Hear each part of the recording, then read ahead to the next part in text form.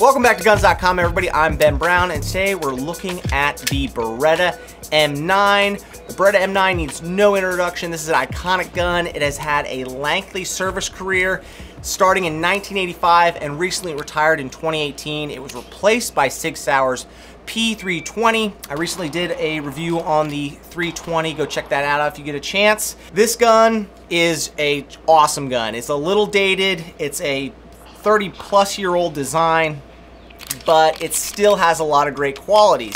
Recently, there has been a revival in the hammer fired pistol, single action, double action. Takes a little bit more skill to run, in my opinion, because that first press is heavier, longer. It's a little bit more difficult. For So for some of those people that want a challenge, that want to maybe tune up an old style gun, I think the Beretta M9 is a great candidate. Let's look at some of the specs and what makes this gun so great.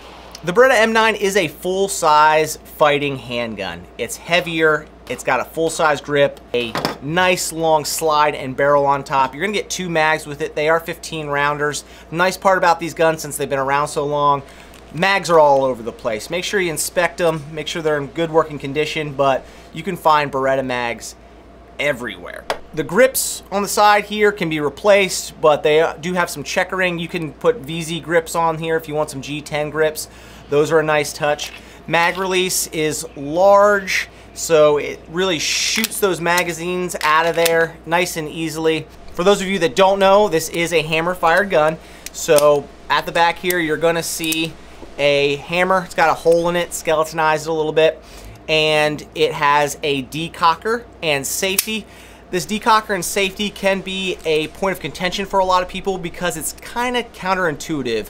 To decock and put on safe, you're swiping down when really I feel like it's probably better to push that up for a decock and to put on safe. Now they do make conversion kits out there if you want to switch that, but the Beretta M9 has an ambidextrous safety and decocker, and you are going to push the decocker and safety up to make this gun hot. Moving forward, the slide has an open top design. This adds to this gun's reliability. There's not a lot that can go wrong here. Because of this open top design, brass, dirt doesn't really get stuck jammed up here. The really only issue you might run into as far as malfunctions go is failure to fire, light primer strikes, but even that is going to be very rare. This hammer is hits hard and is very reliable. So there's not a lot to go wrong with the Beretta M9. Obviously, its lengthy service career is, is a testament to its reliability, and I really like the open top design. Just makes it really, really easy to keep things out of the chamber, clogging up the works. Sights on top are pretty simple. They, I have a white dot up front and you cannot remove this. It is a part of the top slide. So it is what it is. You're not getting anything else. Back here, we have a rear aperture that is dovetailed in there. You could swap that out if you wanted to, but again, the front side, front sight is in there to stay. Underneath on the frame, no rail. So if you wanted to run this as a concealed carry gun and you put a light on it, that's not a possibility. There are other variants of the Beretta that do have the accessory rail. So if that's more your speed, you might want to check those out. But as far as the Beretta M9 goes, it's slick up there. We do have some checkering on the front of the trigger guard, so if you're a guy that likes to wrap his finger around the front, you do have some texture there. But also, if you were to jam this into a barricade or a door frame, it's gonna give a little texture, a little grip there when you're shooting it. The Beretta is heavy. Again, it's a full-size service handgun, but I like heavy guns because it's easy to manage that recoil. Not that the 9mm is stout, but you can get a really soft shooting gun if you have a heavy frame and slide chambered in 9mm. It keeps this nose down and shooting flat, allows you to make follow-up shots really, really easily. The double action trigger is heavy but smooth. It's around 12 pounds. It is kind of hard to get used to if you're a big striker fired shooter, but Beretta made it as easy as possible with this trigger, I think. It's, it's pretty smooth, but heavy. The single action is nice and short and crisp. So again, after the first shot, every subsequent shot after that is going to be single action until you run dry.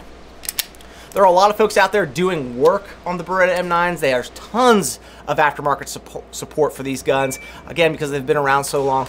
Holsters, parts, trigger upgrades, magazines, all sorts of stuff to help you with your Beretta M9 journey. Again, some of this stuff has been well loved because it's used, it's been around so long, so make sure you're inspecting all those components that you're looking to pick up for your Beretta M9, but there isn't gonna be any shortage of those parts and pieces.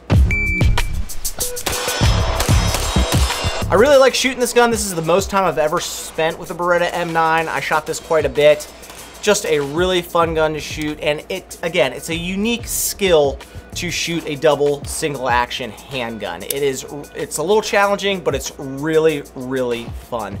Guys the Beretta M9 classic needs no introduction needs no praise. Even though this gun's been sent into retirement I think it still has a great future on the civilian market for shooters all over the country. Guys, if you like this video, please hit that like button, subscribe to guns.com, leave me a comment down below on your feelings about the Beretta M9. I know a lot of you guys out there have probably used it in the service. Definitely want to hear from you guys. My name's Ben Brown. Thank you for watching guns.com. We'll see you on the next video.